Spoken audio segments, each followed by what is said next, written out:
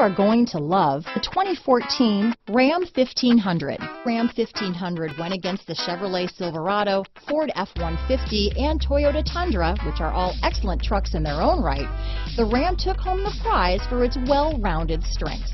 This vehicle has less than 55,000 miles.